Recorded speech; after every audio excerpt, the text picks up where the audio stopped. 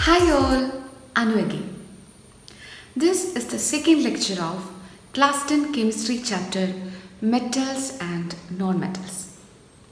Previous ലെക്ചറിൽ നമ്മൾ മെറ്റൽസിന്റെയും നോൺ മെറ്റൽസിന്റെയും കുറച്ച് ഫിസിക്കൽ പ്രോപ്പർട്ടീസാണ് പഠിച്ചത് ഏതൊക്കെയായിരുന്നു എന്ന് ഓർക്കുന്നുണ്ടോ നമ്മൾ മാലിയബിലിറ്റിനെ കുറിച്ച് പഠിച്ചു then ductility conduction of heat conduction of electricity metallic lustre hardness density melting and boiling points, the state at room temperature and the sonority.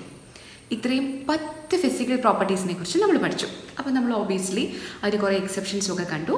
So നമ്മൾ അതിന്റെ ഒരു പ്രോപ്പർ ക്ലാസിഫിക്കേഷന് വേണ്ടിയിട്ട് നമ്മൾ ഈ ലെക്ചറിൽ പഠിക്കാൻ പോകുന്നത് മെറ്റൽസിന്റെ കുറച്ച് കെമിക്കൽ പ്രോപ്പർട്ടീസാണ് തുടങ്ങിയാലോ?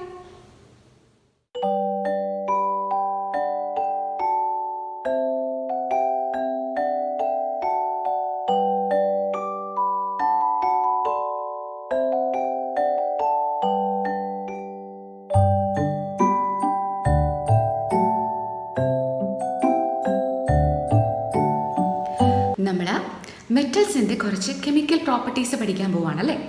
അപ്പോൾ നമ്മൾ ഈ ലെക്ചറിൽ കവർ ചെയ്യുന്ന ടോപ്പിക്സ് ഏതൊക്കെയാണെന്ന് നോക്കിയാലോ? ഫസ്റ്റ് നമ്മൾ reaction of metals with air അല്ലെങ്കിൽ the reaction of metals with oxygen കാണും. Then reaction of metals with water then reaction of metals with dilute acid reaction of metals with dilute salt solutions and last one the reaction of metals with some other non-metals.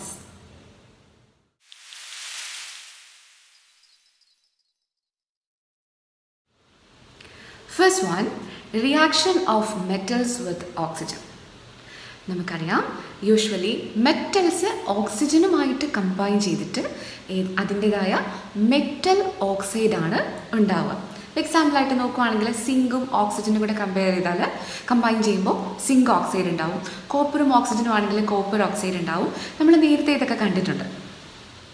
നിങ്ങൾ ഓർക്കുന്നുണ്ടോ? നമ്മളെ second chapter acids bases and salts പഠിച്ചപ്പോൾ നമ്മൾ പഠിച്ച ഒരു chemical property ഉണ്ട്.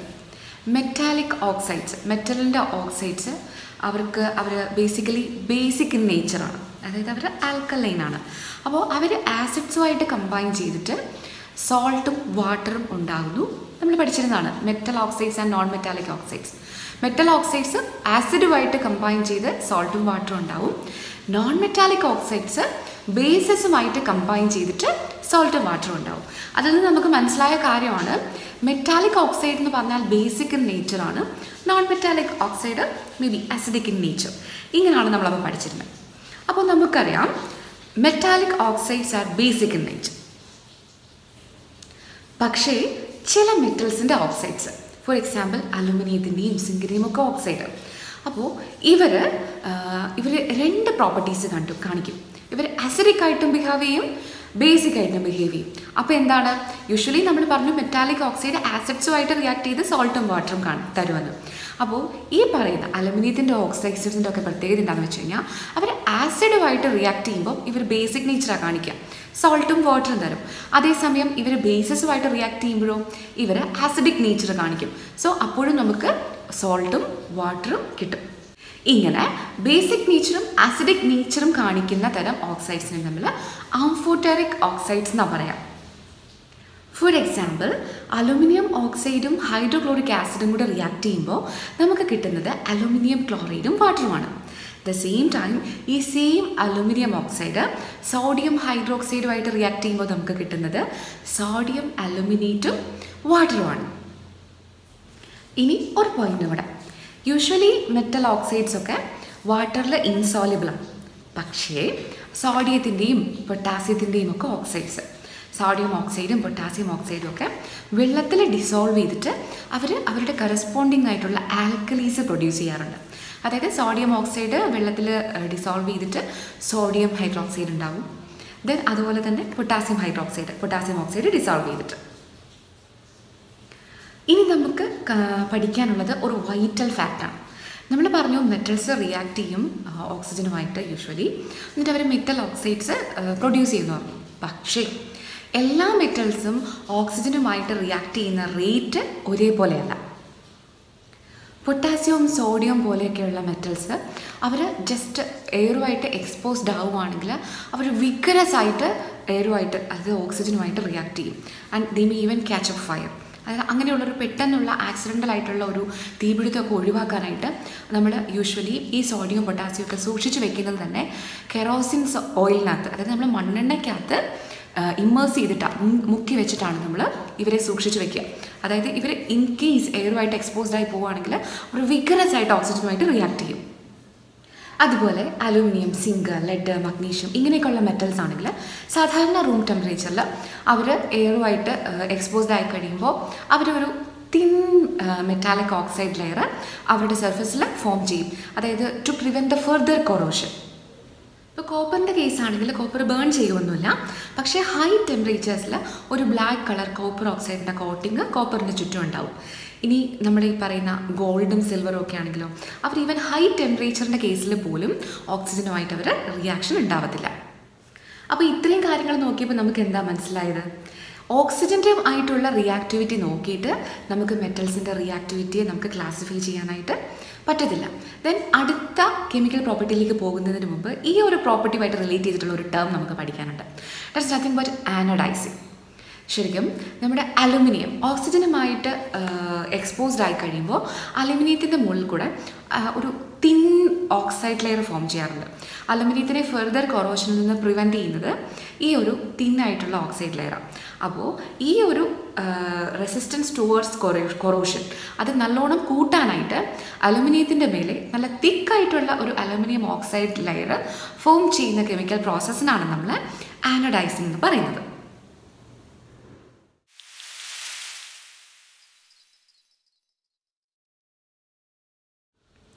ഇനി നമ്മൾ പഠിക്കാൻ പോകുന്നത് റിയാക്ഷൻ ഓഫ് മെറ്റൽസ് വിത്ത് വാട്ടറാണ് മെറ്റൽസ് വാട്ടറുമായിട്ട് റിയാക്ട് ചെയ്തുണ്ടാകുന്നത് മെറ്റൽ ഓക്സൈഡ്സും ഹൈഡ്രജൻ ഗ്യാസുമാണ് ആൻഡ് അഗെയിൻ ആ മെറ്റൽ ഓക്സൈഡ്സ് വാട്ടറിൽ ഡിസോൾവ് ആവുന്ന മെറ്റൽ ഓക്സൈഡ്സ് ആണെങ്കിൽ അവർ ഫെർദർ ഡിസോൾവ് ചെയ്തിട്ട് മെറ്റൽ ഹൈഡ്രോക്സൈഡ് ഉണ്ടാവും കേട്ടോ. ഈ സോഡിയം പൊട്ടാസ്യം ഒക്കെ പോലെയുള്ള മെറ്റൽസ് ആണെങ്കിൽ ഈവൻ കോൾഡ് വാട്ടർ ആയിട്ട് പോലും ഇത് വയലന്റ് ആയിട്ട് റിയാക്ട് ചെയ്യും. റിയാക്ട് ചെയ്തിട്ട് അവർ ഹൈഡ്രജൻ ഗ്യാസും മെറ്റൽ ഓക്സൈഡ്സും ഫോം ചെയ്യും. അപ്പോൾ എന്താണെന്ന് വെച്ച് കഴിഞ്ഞാൽ ഈ ഒരു റിയാക്ഷൻ ഹൈലി എക്സോതെർമിക് ആണ്. അപ്പോൾ ഇത്രയും ഒരു violent and highly exothermic reaction ആയതുകൊണ്ട് അവിടെ ഫോം ചെയ്ത ആ ഒരു ഹൈഡ്രജൻ ഗ്യാസില്ലേ ആ ഒരു ചൂട് കാരണം അത്രയും എക്സോതെർമിക് റിയാക്ഷന്റെ ചൂട് കാരണം ആ ഹൈഡ്രജൻ ഗ്യാസ് കത്തും. അതായത് ഇറ്റ് വിൽ ക്യാച്ച് ഫയർ കാൽസ്യത്തിന്റെ വാട്ടറുമായിട്ടുള്ള റിയാക്ഷൻ നോക്കുകയാണെങ്കിൽ അത് അത്രയും വയലന്റ് ആയിട്ടുള്ള റിയാക്ഷൻ ഒന്നുമല്ല. അതുപോലെ തന്നെ കാൽസ്യത്തിന്റെ റിയാക്ഷനിൽ ഉണ്ടാകുന്ന ഹൈഡ്രജൻ ഗ്യാസിനെ കത്തിക്കാൻ മാത്രമുള്ള അത്രയുമുള്ള ഒരു ചൂട് ആ ഒരു റിയാക്ഷൻ ഉണ്ടാവുന്നില്ല. It's not that much exothermic പക്ഷേ കാൽസ്യം റിയാക്ട് ചെയ്ത് കഴിയുമ്പോഴത്തേക്കും ഈ ഉണ്ടാകുന്ന ഹൈഡ്രജൻ ഗ്യാസ് ഈ മെറ്റൽസിന്റെ സർഫസിൽ ഇങ്ങനെ സ്റ്റിക്ക് ചെയ്തിരിക്കും. അപ്പോൾ അതുകൊണ്ട് നമുക്ക് തോന്നും കാൽസ്യം വെള്ളത്തിൽ ഫ്ലോട്ട് ചെയ്യാൻ തുടങ്ങുന്നു അടുത്തത് മഗ്നീഷ്യം. മഗ്നീഷ്യം തണുത്ത വെള്ളമായിട്ടൊന്നും റിയാക്ട് ചെയ്യില്ല. It will react with hot water എന്നിട്ട് മഗ്നീഷ്യം ഓക്സൈഡും ഹൈഡ്രജൻ ഗ്യാസും ഉണ്ടാക്കും. ഇവിടെയും അതുപോലെ തന്നെ നമ്മുടെ കാൽസ്യത്തിന്റെ കേസ് പറഞ്ഞതുപോലെ ഈ ഉണ്ടാകുന്ന ഹൈഡ്രജൻ ഗ്യാസ് ഈ മെറ്റലിന്റെ സർഫസിൽ സ്റ്റിക്ക് ചെയ്തതുകൊണ്ട് ഈ മെറ്റൽ മഗ്നീഷ്യം ഇങ്ങനെ വെള്ളത്തിൽ ഫ്ലോട്ട് ചെയ്യുന്നതായിട്ടാണ് നമുക്ക് ഫീൽ ചെയ്യുക. അതായത് ഇങ്ങനെ പൊങ്ങിക്കിടക്കും. അടുത്തത് അലുമിനിയവും അയണും സിങ്കും ഒക്കെ. ഇവർ കോൾഡ് വാട്ടറുമായിട്ടും റിയാക്ട് ചെയ്യില്ല ഹോട്ട് വാട്ടറുമായിട്ടും റിയാക്ട് ചെയ്യില്ല. പക്ഷേ ഇവർ സ്റ്റീമുമായിട്ട് നല്ലതായിട്ട് നല്ല നീരാവി നമ്മൾ പറയില്ലേ? സ്റ്റീമുമായിട്ട് റിയാക്ട് ചെയ്തിട്ട് അവർ അവരുടെ മെറ്റൽ ഓക്സൈഡ്സും ഹൈഡ്രജനും ഗ്യാസും ഉണ്ടാക്കും.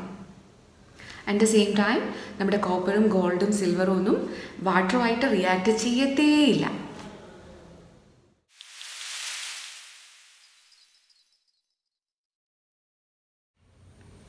അടുത്ത നമ്മൾ പഠിക്കാൻ പോകുന്ന reaction reaction of metals with dilute acid മെറ്റൽസും ആസിഡും തമ്മിൽ റിയാക്ട് ചെയ്ത് നമുക്ക് കിട്ടാൻ പോകുന്നത് ഒരു സോൾട്ടും hydrogen ഗ്യാസുമാണ് for example zinc plus hydrochloric acid gives zinc chloride plus hydrogen ഇവിടെ നമുക്ക് ഒരു എക്സെപ്ഷൻ ഉണ്ട് that is nitric acid nitric acid മെറ്റലുമായിട്ട് react ചെയ്തിട്ട് യൂഷ്വലി ഹൈഡ്രജൻ ഗ്യാസിനെ ഇവോൾവ് ചെയ്യത്തില്ല.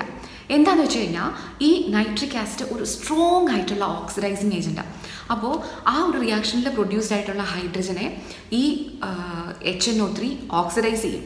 അപ്പോൾ ആ ഹൈഡ്രജൻ വാട്ടർ ആവും ആൻഡ് അഗെയിൻ ഈ എച്ച് എൻ ഒ ത്രീ ആണ് ഏതെങ്കിലും നൈട്രജന്റെ ഓക്സൈഡ്സ് ആയിട്ട് കൺവേർട്ടഡ് ആയി പോകും അപ്പോൾ നമുക്ക് ഹൈഡ്രജൻ ഗ്യാസിന്റെ ഇവല്യൂഷൻ ഈ കേസിൽ യൂഷ്വലി ഉണ്ടാവത്തില്ല. ഈ എക്സെപ്ഷനും നമുക്ക് വേറൊരു എക്സെപ്ഷനും ഉണ്ട് കേട്ടോ. നമ്മുടെ മാംഗനീസും മഗ്നീഷ്യവും ഒക്കെ നല്ല ഡൈല്യൂട്ട് ആയിട്ടുള്ള നൈട്രിക് ആസിഡിന്റെ കൂടെ റിയാക്ട് ചെയ്യുമ്പോൾ ഹൈഡ്രജൻ ഗ്യാസിനെ ഇവോൾവ് ചെയ്യാറുണ്ട്.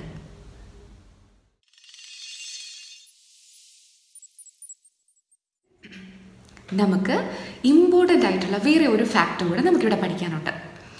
നമ്മുടെ വീട്ടിലൊക്കെ ആണെങ്കിൽ നമ്മുടെ അമ്മമാരൊക്കെ ഈ സ്വർണം അല്ലെങ്കിൽ ഏതെങ്കിലും ആഭരണങ്ങളൊക്കെ തിളക്കം കുറയുമ്പോൾ ഓർണമെന്റ്സിന്റെ ആ ഒരു ഷൈനിങ് കിട്ടാനായിട്ട് ഈ ജ്വല്ലറി ജ്വല്ലറി ഷോപ്പിലൊക്കെ തിരിച്ചു കൊടുത്ത് അത് ക്ലീൻ ചെയ്ത് വാങ്ങിക്കും.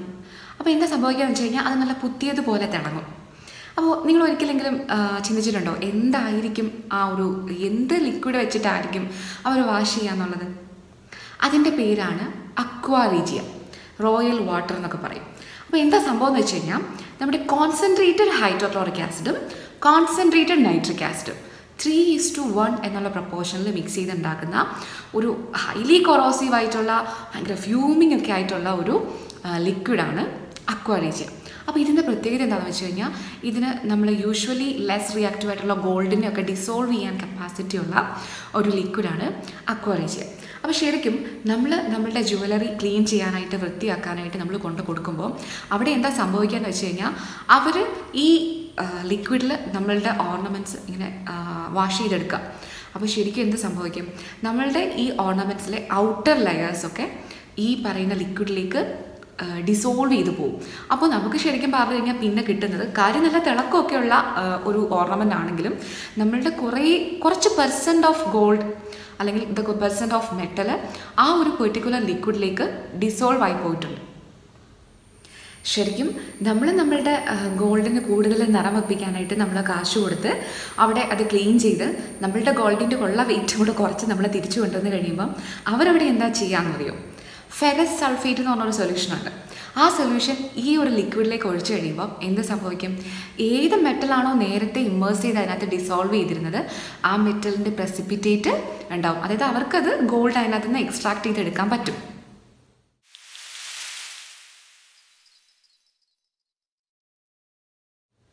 ഇനി നമ്മൾ പഠിക്കാൻ പോകുന്നത് reaction of metals with other metal salts ആണ്.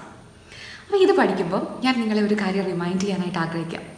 നമ്മൾ ഫസ്റ്റ് ചാപ്റ്ററിൽ ഒരു ഡിസ്പ്ലേസ്മെന്റ് റിയാക്ഷൻ പഠിച്ചിരുന്നു. ഒരു ടൈപ്പ് ഓഫ് കെമിക്കൽ റിയാക്ഷൻ അപ്പോൾ അവിടെ എങ്ങനെയായിരുന്നു? ഒരു എലമെന്റ് വേറൊരു കോമ്പൗണ്ടിൽ നിന്ന് ആ എലമെന്റിനെക്കാട്ടിലും ലെസ് റിയാക്റ്റീവ് ആയിട്ടുള്ള എലമെന്റിനെ ഡിസ്പ്ലേസ് ചെയ്തിട്ട് അവിടെ കയറിയിരുന്ന് പുതിയ ഒരു കോമ്പൗണ്ട് ഉണ്ടാകുന്ന പ്രോസസ്സ് ആ ഒരു സെയിം കാര്യമാണ് നമ്മൾ ഇവിടെ കാണാൻ പോകുന്നത്.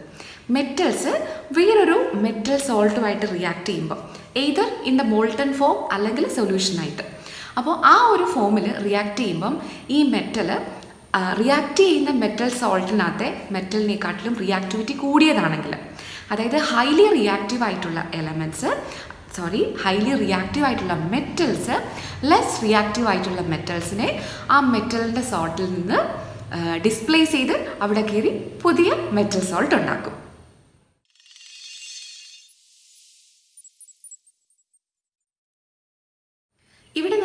ഹെൽപ്ഫുൾ ആയിട്ടുള്ള ഒരു ലിസ്റ്റാണ് റിയാക്ടിവിറ്റി സീരീസ് എന്ന് പറയുന്നത്. അതായത് മെറ്റൽസിന്റെ ഒരു ലിസ്റ്റാണ് അതിൽ ഹൈലി റിയാക്റ്റീവ് തൊട്ട് റിയാക്ടിവിറ്റി കുറയുന്നതനുസരിച്ച് അതായത് ഡിക്രീസിങ് ആക്ടിവിറ്റിയുടെ ആ ഒരു ബേസിസിൽ ഉള്ള ഒരു ലിസ്റ്റ് അപ്പോൾ ശരിക്കും പറഞ്ഞു കഴിഞ്ഞാൽ റിയാക്ടിവിറ്റി സീരീസിന്റെ മുകളിൽ കിടക്കുന്ന ഹയർ പൊസിഷനിൽ കിടക്കുന്ന എലമെന്റ്സ് ഈ താഴെയുള്ള എലമെന്റ്സിനെ ഡിസ്പ്ലേസ് ചെയ്യും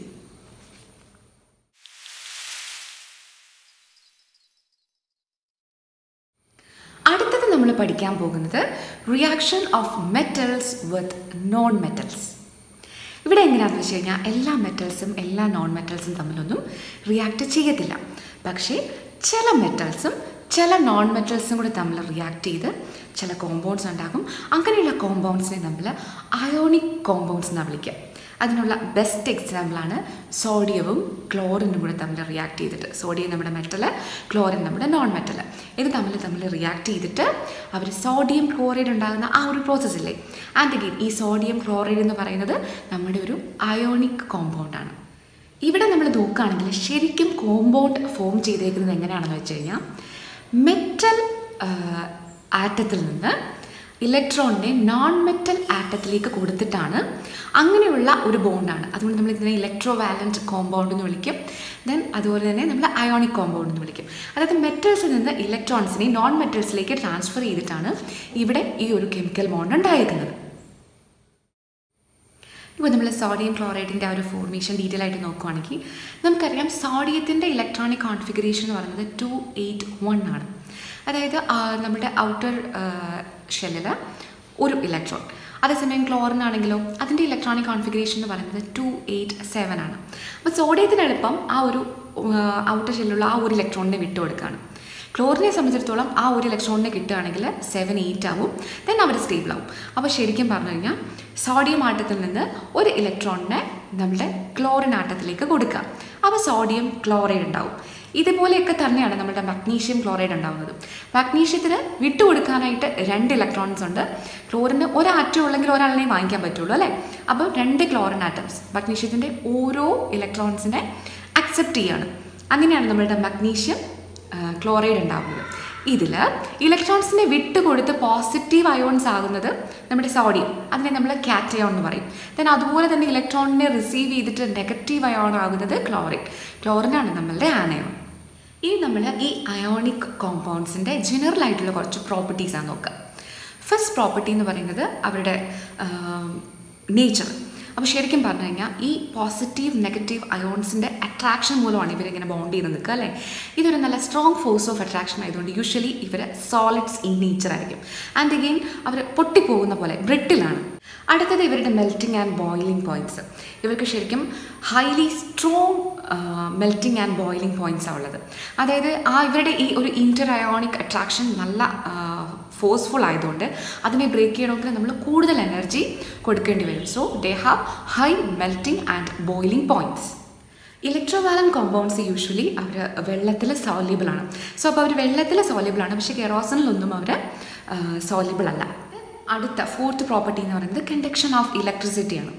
ഇവരുടെ സോളിഡ് സ്റ്റേറ്റിൽ ഇവർ ബാഡ് കണ്ടക്ടേഴ്സ് ഓഫ് ഇലക്ട്രിസിറ്റിയാണ് പക്ഷേ ഇവരുടെ മോൾട്ടൺ സ്റ്റേജിലും ദെൻ സൊല്യൂഷൻ ആയിട്ടുള്ള അവസ്ഥയിലും അയോൺസിന്റെ പ്രസൻസിൽ അവർക്ക് ഇലക്ട്രിസിറ്റി കണ്ടക്ട് ചെയ്യാനായിട്ട് സാധിക്കും.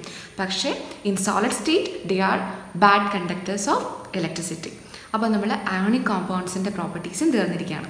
അപ്പോൾ നമ്മൾ ഈ ഒരു ലെക്ചറിൽ മെറ്റൽസിന്റെ ഡിഫറെന്റ് കെമിക്കൽ പ്രോപ്പർട്ടീസ് നമ്മൾ ഡിസ്കസ് ചെയ്തു. Reaction of metals with oxygen, with water, with dilute acid, with other metal source and with non-metals. So here this lecture ends. നിങ്ങൾക്ക് ഈ വീഡിയോ ഇഷ്ടമായാൽ നിങ്ങൾ ലൈക്ക് ചെയ്യാനും ഷെയർ ചെയ്യാനും സബ്സ്ക്രൈബ് ചെയ്യാനും ഒന്നും മറക്കരുത്. നിങ്ങളുടെ ഫ്രണ്ട്സിനൊക്കെ റഫർ ചെയ്യണം. ആൻഡ് ഇങ്ങനെ ഇതുവരെ സബ്സ്ക്രൈബ് ചെയ്തിട്ടില്ലെങ്കിൽ സബ്സ്ക്രൈബ് ചെയ്യാനായിട്ട് മറക്കരുത്. വീണ്ടും അടുത്തൊരു വീഡിയോയിലേക്ക് കാണുന്നത് വരെ എല്ലാവരും take care and thank you so much for your time have a good day